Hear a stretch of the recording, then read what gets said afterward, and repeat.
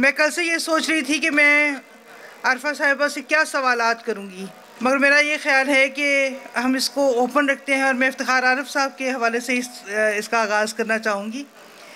तो मैडम, ये बताइए कि आप यहाँ तशरीफ़ लाई हैं, इतना बड़ा जश्न हो रहा है इश्काबाद के प्लेटफॉर्म से। आप क्या कहना चाहेंगी?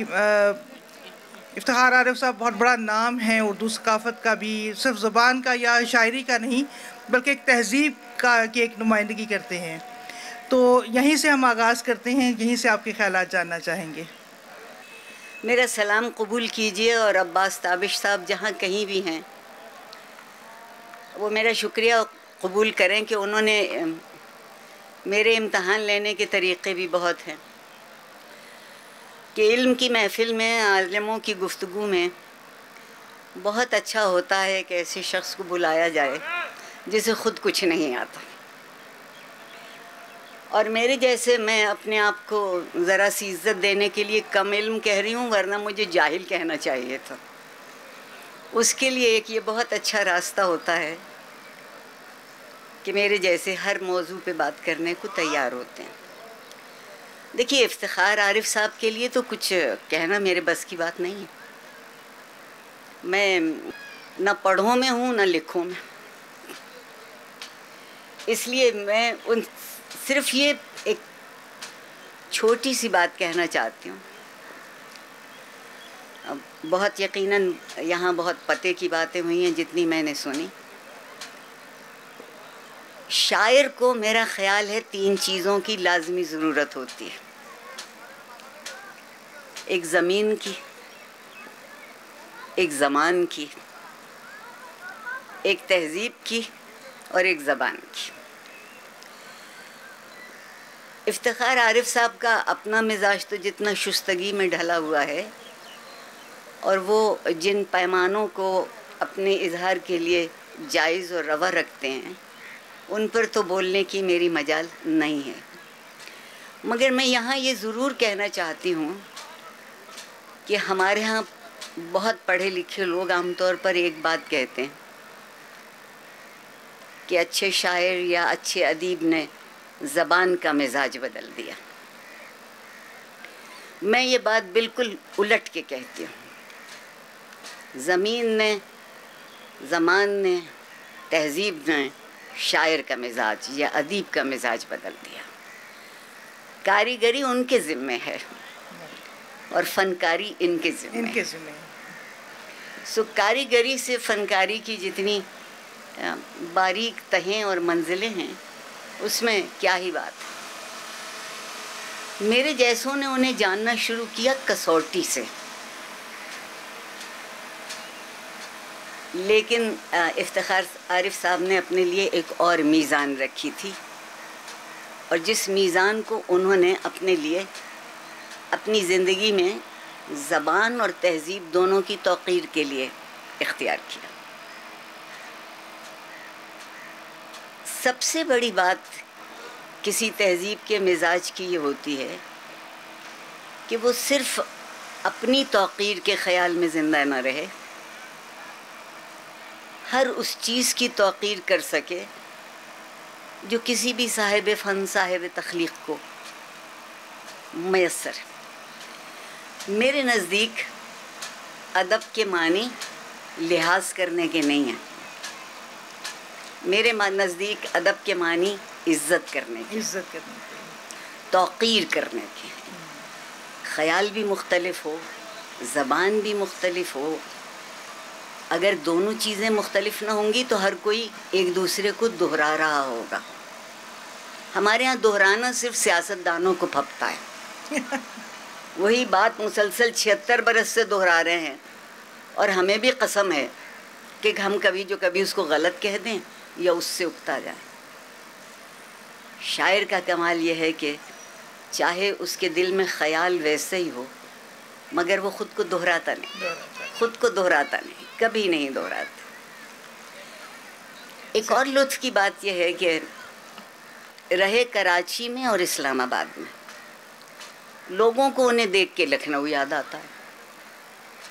क्या उम्दा बात की अब वो जो लखनऊ का तस्वुर है वो शहर का तस्वुर नहीं है।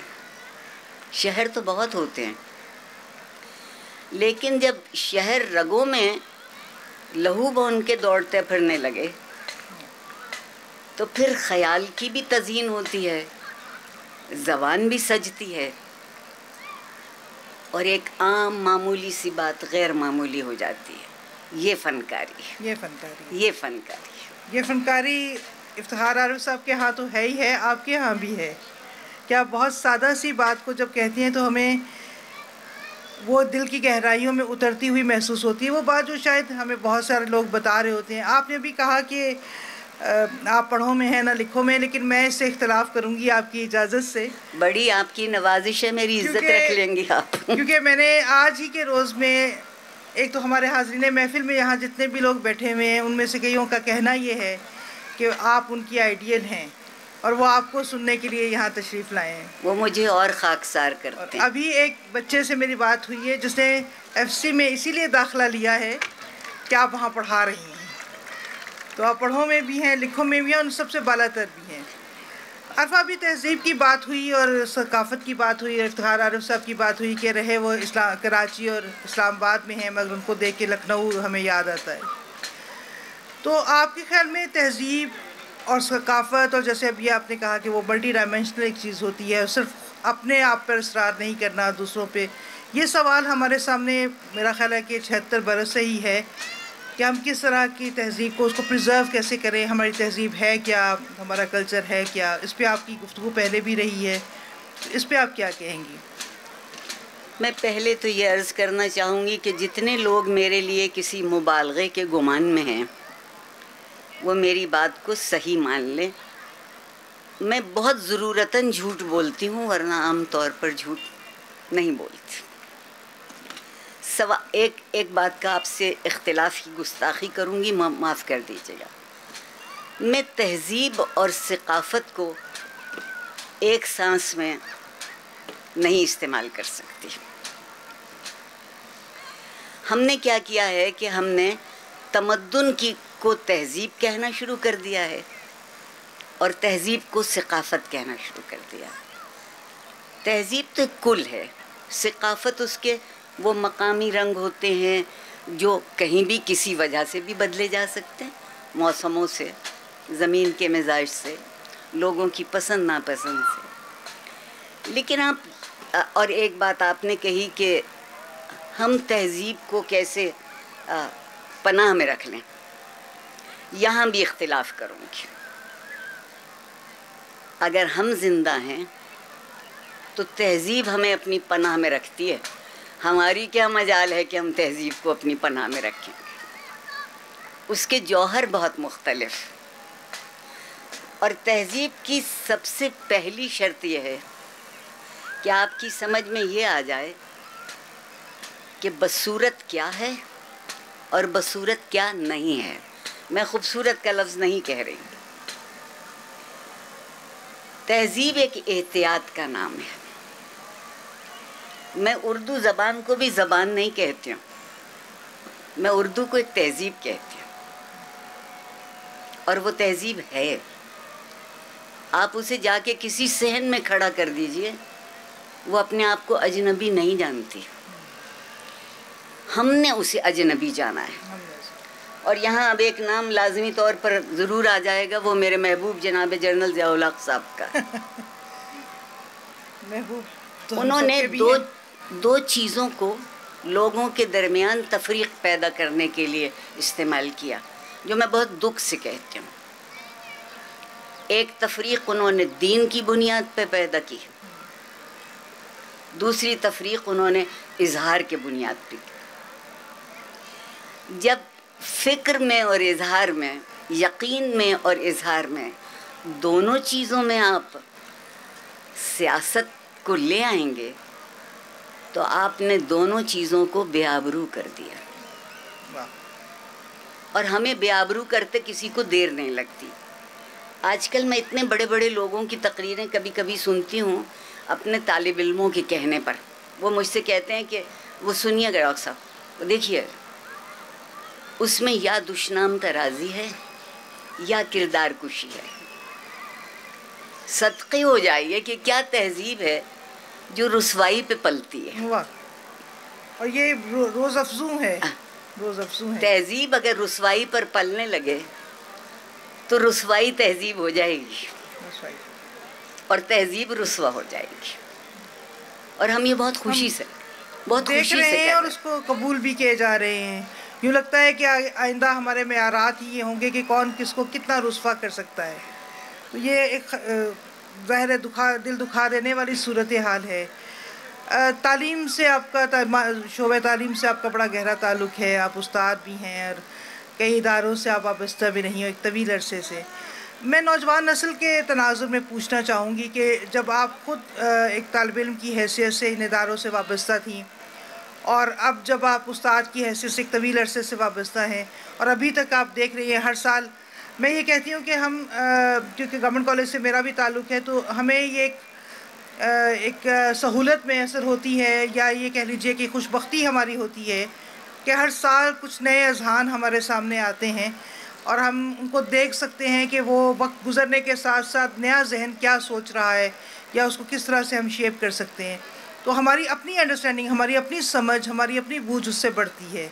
तो मैं ये पूछना चाहूँगी कि इतने तमाम अरसे में आप जिस नौजवान नस्ल से ताल्लुक़ रखती रही हैं और जिस नौजवान नस्ल को आपने आहिस्ता आहिस्ता बुज़ुर्ग होते हुए भी देखा, फिर उनकी जगह नए चेहरे आते देखे, उनसे आपको कुछ बेहतरी की उम्मीद नज़र आती है कि हम कुछ आगे बढ़ सकते हैं?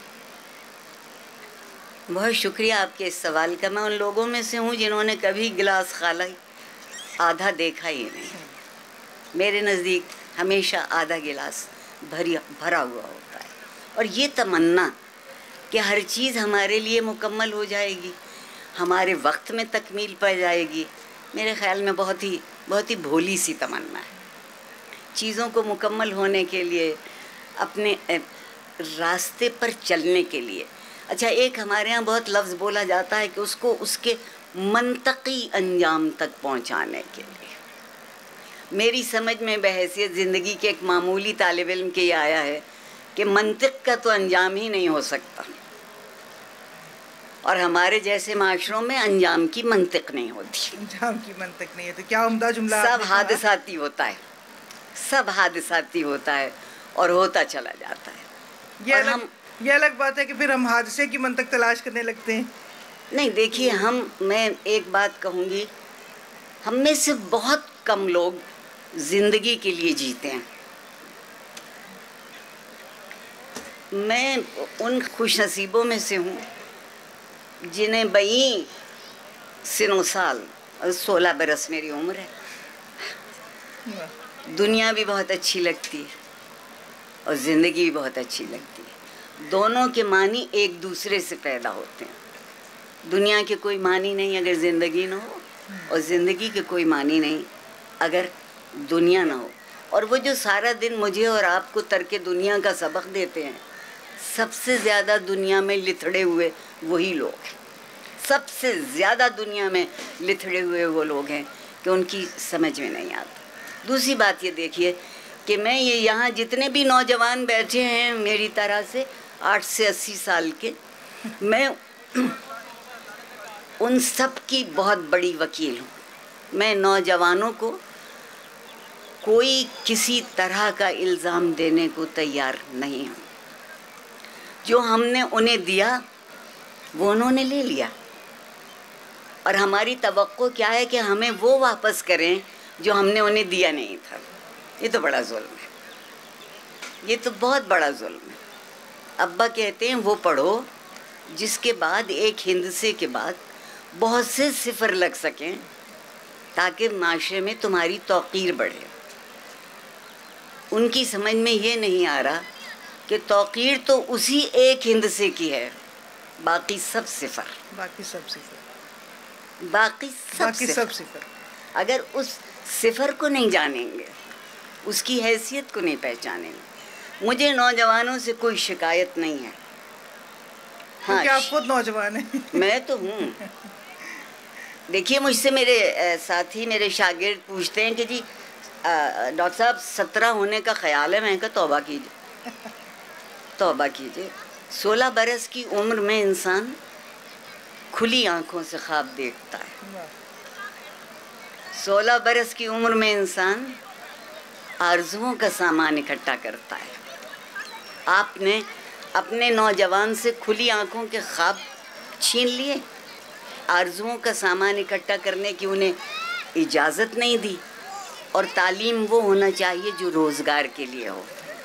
ये नहीं एक बात जो साथ साथ। रोज़गार को ज़िंदगी मत बनाइए।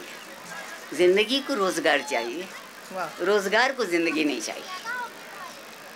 और जब कभी कोई साहिब फ़न अपने ख्याल और अपने एहसास को रोज़गार बना लेता है तो वो भी पहले शख्स से मुख्तलिफ़ पहले नहीं रहता। मुख्तलिफ़। मुख्तलिफ़ नहीं रहता।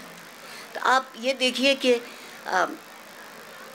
पिछले कोई चार पाँच सालों में हमने एक कमाल बहुत किया है। इस नस्ल को एक अजब एतबार दिया है कि जितने बदलिहाज हो सकते हो हो जाओ। ये यकीन दिया है कि जितनी बदजबानी कर सकते हो कर लो। सोशल मीडिया आप भी देखती होंगी। बात अंग्रेज़ी से शुरू होती है। मगर कलेजा ठंडा होता है उर्दू की मुगलजात से। किसी और ज़ुबान की मुगलजा से भी ठंडा नहीं नहीं वो उस। मुगलजात में उन्हें इसलिए मज़ा नहीं आता कि दूसरी ज़बान में वो मुगलजात वाज नहीं हैं। आपकी अपनी ज़बान में वो मुगलजात बिल्कुल वाजे हैं। कोई शुबह ही नहीं दरमियान में कि कोई क्या कह रहा है।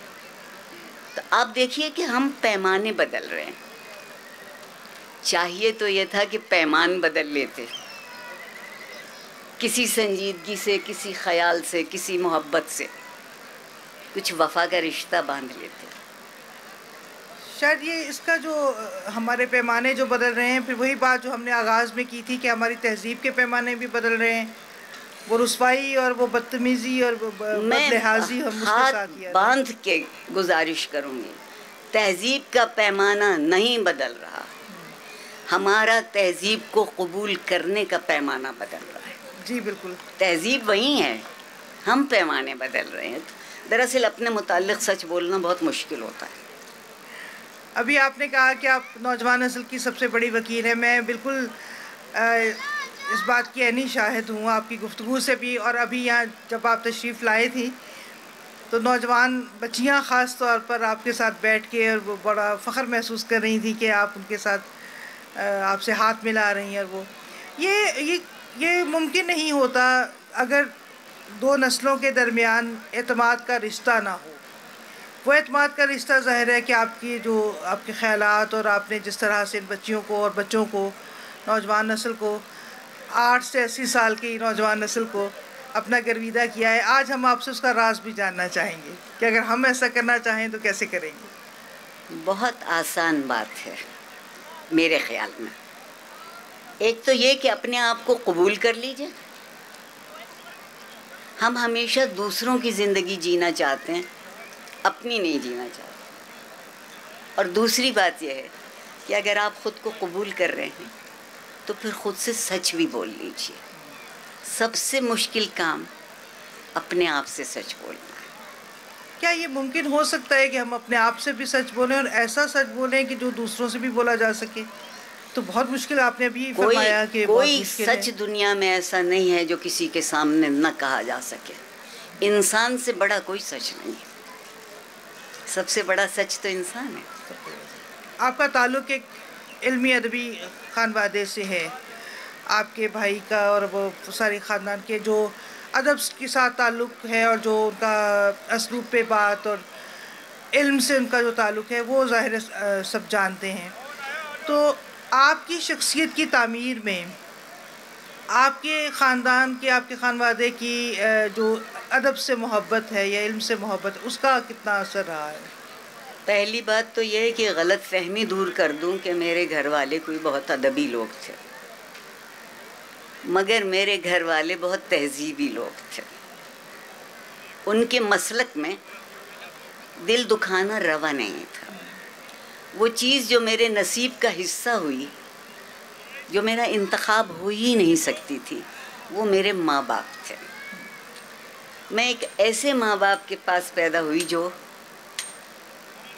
मैंने नहीं सुना कि कभी किसी को बुरा कहते थे, किसी के दरमियान तफरीक लाते थे। कहीं तासुब का नाम था। हमें ये कुछ कहने की इजाज़त ही नहीं थी कि हम दूसरों के मुतालिक राय दें। और आज हम कुछ भी नहीं करते सिवाय दूसरों के मुतालिक राय दे राय देने की। तो इसलिए और उन्होंने एक बात सिखाई थी कि अगर अपनी इज़्ज़त नहीं कर सकोगे तो फिर किसी की इज़्ज़त नहीं कर सकोगे। पहली चीज़ यह है कि खुद अपनी इज़्ज़त करो और सोचो कि वो इज़्ज़त होती कैसे है। अच्छा ये बहुत बारीक सी एक लाइन है बहुत बारीक सी एक लकीर है अपनी इज़्ज़त खुद करने और अ, क्या कहना चाहिए कि ज़रूरत से ज़्यादा इज़्ज़त करने में कि दूसरों को हकीर समझना शुरू कर दे। वो बारीक लाइन हम किस तरह से लकीर किस तरह से मेंटेन वो बारीक लाइन नहीं है वो बहुत मोटी सतर है। इज़्ज़त बिल्कुल मुख्तलिफ़ चीज़ है और खुशामद बिल्कुल मुख्तलिफ़ हम इज़्ज़त कम करें हम इज़्ज़त। हम इज़्ज़त कर, कम करते हैं खुशामद ज़्यादा करते हैं क्योंकि हमें उस मौके को टाल के आगे बढ़? जाना आगे बढ़ जाना यानी अपनी भी इज़्ज़त करें अपनी खुशामद ना करें अपनी भी खुशामद न अपनी भी खुशामद न करें और अभी हमने बात की जबर के मौसम की कि जब यहाँ हमारे आपके हमारे सबके महबूब ने एक तफरीक पैदा की और ज़ाती तौर पर मैं भी ये समझती हूँ कि अगरचे कि मैंने उस उस सारी सूरत हाल को उतना बरह रास्त नहीं देखा जिस तरह आपने देखा। मगर क्या अभी तक वो असर जारी नहीं है? क्या अभी तक हम उसमें से निकले नहीं हैं? आपको खुदा खुश रखे। आप कह रही हैं जारी नहीं है। मेरी तीसरी नस्ल मेरी आँखों के आगे बर्बाद हो रही है। उस पर मैं और मैं कुछ नहीं कर सकती। आप बात कर सकती हैं, आप हमें बता सकते नहीं, देखिए, मसला ये है कि हमने बहुत अच्छे हथियार तराशे उसमें से एक हथियार को हम सिर्फ़ अंग्रेज़ी में याद करते हैं। इजाज़त दीजिए, वो बिलासफमी है। एक मौलाना दूसरे मौलाना के साथ बैठकर ये गुफ्तगु तो कर सकते हैं नाउजो बिल्ला उनके मुँह में खाक। कि रसूल अल्लाह वसल्लम और हज़रत आयशा सिद्दीक़ा रज़ी अल्लाह ताला की शब ज़फ़ाफ़ में क्या हुआ था? इंतहाए गुस्ताखी की। इंतहाए बेतमीज़ी की। उसका क्या नतीजा निकला है? अब आजकल आप सोशल मीडिया देखिए तो सियासत वाले सियासत वालों को चाहने वाले और सियासत को चाहने वाले आजकल वो सिर्फ़ लोगों के नाजायज़ बच्चों की फेरिस्त बना रहे हैं। बिल्कुल। ये किसने इजाज़त दी? है चूँकि वो बिलासफमी नहीं है इसलिए ये भी गलत नहीं है। वही बात के वो जो लिहाज था या जो रख हम- रखाव था वो उससे हम हम हम तहजीब से इसलिए अलग हुए। मैं ये जुमला कहते कहते मर जाऊँगी। कि पहले मकीन बड़े होते थे। खुदा आपको सलामत रखे कथा कलामी माफ़ खुदा आपको सलामत रखे। पहले मकीन बड़े होते थे अब मकान बड़ा। होता है। पहले जिस जगह कोई शख्स रहता था वो उस जगह की वजह से मुअज़्ज़ज़ होती थी। आज आपका पता कहाँ का है वो बताता वो है कि आप कितनी कि शरीफ हैं। आप कितने शरीफ हैं कितने कितने मुअज़्ज़ज़ हैं। इसको हम अ, किस तरह से क्या रास्ता अपनाया जाए कि वो असर कदरे कम हो कोई रास्ता आगाज़ हम- करेंगे तो देखिए हम हमने अपने आप को जानबूझकर उलझाया है। हम इतने भोले लोग नहीं हैं। मत समझिए। ना मैं ना आप। ना वो ये जो सब सामने हमारे नौजवान खड़े न ये। बात सिर्फ़ ये है कि एक दफ़ा आदमी ये तय कर ले। कि ज़िंदगी अकदार की मीज़ान पर नापी जाएगी या मकदार की मीज़ान पर आप अकदार की ज़बान पर मीज़ान रखेंगे तो बेहतरी की सूरत रहेगी। अकदार के लिए रखेंगे तो उसकी हवस पूरी नहीं पूरी नहीं कभी पूरी नहीं अरफा हम वापस आएँगे उसी मौजू पे जिस पे हमने आगाज़ किया था। इश्काबाद ने बहुत कम वक्त में बहुत से अच्छे प्रोग्राम किए हैं। अभी पिछले दिनों भी एक जश्न शौकत वास्ती भी हमारे यहाँ हुआ उसे जो जश्न जॉन एलिया और आज इतना बड़ा एक आ, हम प्रोग्राम ये कर रहे हैं जश्न इफ्तार आरिफ। आ, कुछ इनके लिए भी आप अगर कहना चाहें कोई बात करना नहीं देखिए मैं एक बात आपसे कहना चाहती हूँ। और यहाँ मैं नाम ले के याद करूँगी एक ख़ातून को।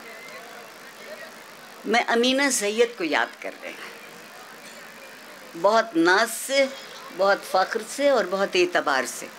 वो ख़ातून जयपुर तो गई मगर इतने जयपुर साथ ले आई। साथ ले आई।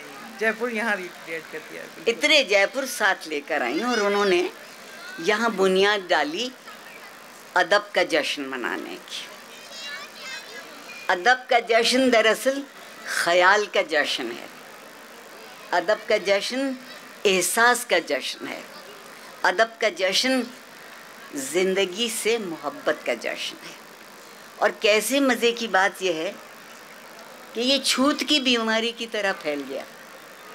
मुझे बहुत खुशी होती है। लोगों की समझ में ये बात आ गई कि जो हरफ सादा लिख दिया गया, उससे ज़्यादा रंगीन बात कोई नहीं हो सकती। तो इस इस रंग को इस खूबी को इन तक पहुँचाया जाए। और उसमें लुत्फ बहुत आया। कहाँ कहाँ की बात हमने नहीं की? कहाँ कहाँ की बात हमने नहीं की? आजकल हम सबसे ज़्यादा फैज़ साहब की तीन नज़में पढ़ रहे हैं। वो फ़लस्तीनी शहदा जो कहीं और मारे जो कहीं और मारे। वो बच्चे की लोरी हो। फैज साहब की ये नज़म तो बहुत मशहूर हुई कि हम देखेंगे। मगर जो फ़लस्तीन के लिए उन्होंने लिखी क्या हक्का के हम भी देखेंगे। जब ये हौसला हो जाए क्या आने दो? एक आग का दरिया है और डूब के जाना है। तो हम उसके लिए तैयार होते हैं। हमने क्या किया है कि हम सहल पसंद होते जाते हैं। सहूलतें तलाश करते हैं। मुझे ये लगता है कि ज़िंदगी आपको मोहब्बत नहीं करने देती अगर आप सिर्फ़ सहूलत के मुतलाशी ज़िंदगी मोहब्बत करने देती है जब आप आजमाइश के जब आप इस और एक बात और है। आजमाइश बहुत ज़रूरी है। ये कैसे मुमकिन है कि मैं पूरी ज़िंदगी जी लूँ और किसी ने मेरा अंदाज़ा ही ना लगाया हो? ये तो बेमानी ज़िंदगी हो जाएगी। कोई तो लगाए मेरा अंदाज़ा। मैं इफ्तार आरिफ साहब की शायरी का अंदाज़ा नहीं लगा सकती। मैं एतराफ़ कर रही शेर पढ़ती हूँ, सर धुनती हूँ। कभी कभी कोई एक लफ्ज़ यहाँ अटक जाता है और दिनों में उसकी बात समझ में आती है कि ये हुजूर कहाँ से लेकर आए थे। मैं आपके उस मिसरे को दोहराऊँगी नहीं। मगर उस मिसरे को मैं जब भी पढ़ती हूँ तो वाजिद अली शाह का इमाम बाड़ा याद आता है। इमाम बाड़ा तो बिल्कुल ज़मीन और ज़मान की चीज़। मगर आप देखिए क्या इमाम बाड़ा सिर्फ़ ज़मीन और ज़मान की बात है? या इमाम बाड़ा ख्याल और एहसास की बात है? क्या ये वही वाजिद शाह हैं जो ये कहते थे कि हाय मेरी नखलो नगरी या ये वो वाजिद शाह हैं जो समझते हैं कि कुदरत ख़याल को तोक़ीर ख्याल में असर होना चाहिए, चाहिए। होना तो बहुत कुछ चाहिए लेकिन होता क्या है? असल बात तो हम, नहीं करते। हम नहीं करते। हम डरे हुए हैं। हम डरे हुए हम डरे हुए हैं। हम खौफ ज़दा माशरा है। और मुल्ला ने हमें कैसा डरा के रखा है? मगर आप तो खौफजदा नहीं है नहीं मैं नहीं अल्हम्दुलिल्लाह के नहीं तो हम कैसे इस खौफजदगी के आलम से बाहर निकलेंगे अपने आप नूर में तीरा शबों का साथी कौन होगा? आप अपने आप से कह लें कि मुझे खौफ की ज़िंदगी नहीं बसर करना। दरअसल बात यह है कि हम सहूलतों की खातिर तवालतों की खातिर मेहरबानियों की खातिर हर चीज़ की मसलहत करते हैं। मेरी तरह छोड़ दीजिए सहूलत को तलाश कर। कोई बात नहीं। सहूलत को तलाश कर लेगी। हाँ कोई ज़रूरत नहीं हमें दम हो गया तो सहूलत हाँ, को तलाश कर सहूलत को तलाश करने की ज़रूरत नहीं होगी। अगर आपके अंदर किसी भी चीज़ का यकीन इतना हो जाएगा तो सहूलत आपको तलाश करती हुई खुद आएगी। खुद आएगी। तो ये सहूलत या आसाइश या आसानी ये आपकी बात दुरुस्त है कि आपके अंदर दम होगा तो खुद तलाश कर झक मार के पीछे आएगी। नहीं सवाल ये है कि ज़िंदगी खाली आराम की खातिर क्यों गुजारी जाए? आजमाइश के साथ गुजारी मुझे तो आपको यकीन नहीं आएगा मैं आपके सामने इतराफ़ किए लेती हूँ सबके सामने इतराफ़ कर रही हूँ कि मैं दुआ मांगती हूँ अपने रब से मैं अपने रब से दुआ मांगती हूँ कि मेरी सारी आरजुएँ पूरी मत कर देना। अगर सारी आरजुएँ पूरी कर दी तो मुझे क्या चीज़ बेचैन रखेगी? और अगर कोई चीज़ मुझे बेचैन नहीं रखती मुस्तरब नहीं रखती तो ज़िंदगी को तो मौत होना चाहिए। ज़िंदगी को आपने तो इश्क की बात की ना कि इश्क का इसतराब अगर होगा और इश्क किसी से भी हो सकता है आपके वतन से आपकी नहीं इश्क में भला सिर्फ़ मुल्ला को हक हासिल है कि वो औरत से इश्क करे। हाँ। क्यों नहीं? औरत को कोई हक में असर नहीं है कि वो किसी से इश्क कर सके या किसी दूसरे मर्द को किसी दूसरे तसव्वुर ख्याल चीज़ से। नहीं वो इश्क के मानी जानते नहीं। जानते नहीं। उन्होंने दीन को भी जिस्म तक महदूद किया है। इससे बड़ी बे बेतौकीरी। क्या होगी? क्या आप दीन को भी बस जिस्म का पाबंद कर दें। वो चीज़ जो रूह को शादाब करने के लिए है। वो चीज़ अंदर का जो चराग जलाए रखने के लिए है। आप उस पर हथेली रख के बैठे। ये इतना नैरो डाउन कर दिया इतना तंग नज़र कर दिया कि उसी से ये इतना हम मुतशद हो गए हम इतने यकरुखे हो गए हम इतने यकसतही हो गए। हम वहशतों के साथी तलाश नहीं कर पाते हम इजहार नहीं कर पाते। तो ये कैसे कैसे चलेगा सारा कुछ? कैसे हम, ये भी बड़ी बात है, बहुत गनीमत है जो हम सूरत दो चार यहाँ पे हम बैठ गए हैं और बात कर रहे हैं और आपसे हम बात कर रहे हैं, ये भी बहुत बड़ी बात है। देखिए, आप, हम सबने एक जुल्म अपने ऊपर किया है। सियासतदान के हाथ में अपनी पसंद और नापसंद, अपने हक, अपने इंतखाब को दे दिया। वो कौन होते हैं मेरे लिए करने वाले? क्या मेरा उनसे आप देखिए कि कैसे अफसोस की बात है कि इंसान जैसी बड़ी चीज़ जो बराह रास्त उससे मुंसलिक है हमेशा के लिए। से मुंसलिक है। हमेशा के लिए। हमेशा के- वो किस चीज़ों से डर रहा है? आप सवाल ये है कि क्या ज़िंदगी आपके लिए कोई मानी और तौकीर और मैं उसे आबरू कहती हूँ? और मैं एक बात और भी कहती हूँ। मुल्ला सारा दिन आपको वज़ू करना सिखाते हैं। और अगर कहीं कोई एक चवन्नी बराबर भी जगह खुश्क रह गई तो वज़ू नहीं होता। वज़ू नहीं होगा। मैं उनके मुकाबले में कहती हूँ कि नियत को बावजू कीजिए। नियत को बावजू कीजिए। बाहर की दुनिया में गलतियाँ होती हैं। दुरुस्त कर सकते हैं। अंदर की दुनिया में अगर गलती होती है तो उसका दुरुस्त करना बड़ा मुश्किल। बड़ा मुश्किल होगा बड़ा मुश्किल। बाहर की ततहीर तो करते हैं अंदर की ततहीर भी कीजिए। अभी दो दफ़ा यहाँ पैगाम वक्त मेरा वक्त पूरा हुआ चाहता है। पैगाम आ चुका है। आपसे बहुत सी बातें करने को मन चाहता है और इतने मुख्तसर से वक्त में तो अभी आगाज़ भी नहीं हो पाता नहीं मैं बेहद ममनून हूँ आप सबकी। और इश्क को खुदा आबाद रखे और आबाद को खुदा आशिक रखे। आमीन अब्बास ताबिश साहब आपकी बड़ी नवाजिश ताबिश साहब की इस दुआ के बाद से हम यहीं पे इख्ताम करते हैं आज के सेशन का। आप बड़ी नवाजिश।